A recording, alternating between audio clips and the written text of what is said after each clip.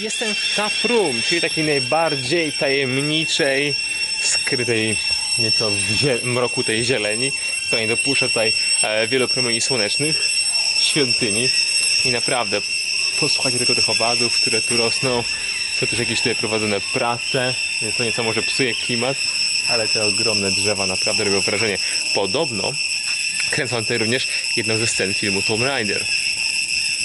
Aby całość się nie zawaliła, zastosowano tutaj również takie potwory, które podtrzymują nawet konary do ogromnego drzewa. 哎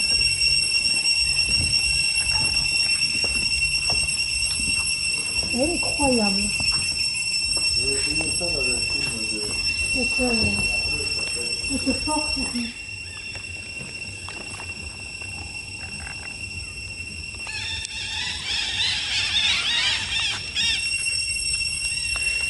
Jest- jest już godzina 17.31, a więc teoretycznie świątynia powinna być już zamknięta, ale jeszcze ci, którzy weszli mogą tutaj być, właśnie tak jak ja.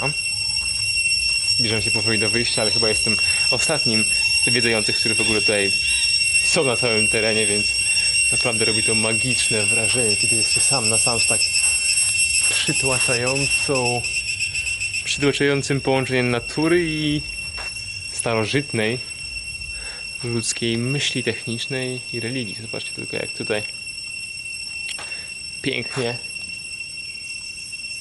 zarówno drzewo, jak i mur żyją w symbiozie, chociaż wiadomo, co gdyby, mm, gdyby zostawić tylko siły natury, to wiadomo co by się stało z murem, a drzewo przetrwałoby o wiele dłużej.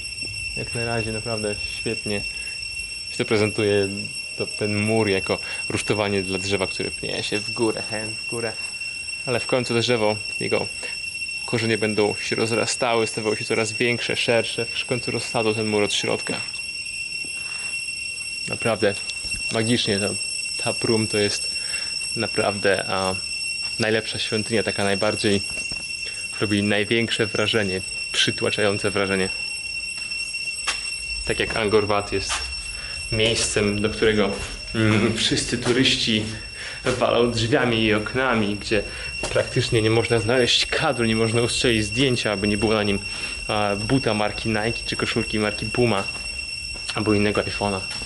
Natomiast tutaj, może akurat w tym momencie, ale jest zupełnie cicho.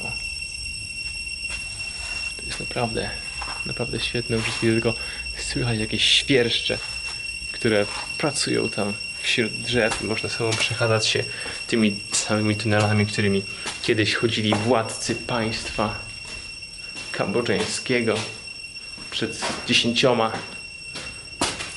nawet i więcej wiekami. Jest trochę ciemno, więc trzeba uważać także na głowę. O, jakiś skuter, który przypomina, że to jest jednak jeszcze troszeczkę cywilizacji. Tymczasem żegnam się z Wami prosto z Taproom, z Siem Reap, z Kambodży. I zapraszam i polecam.